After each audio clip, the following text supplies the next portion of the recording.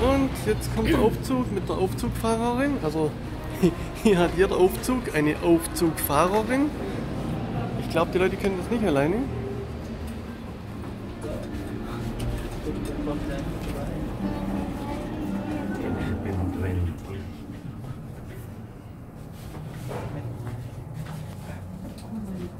Was denn?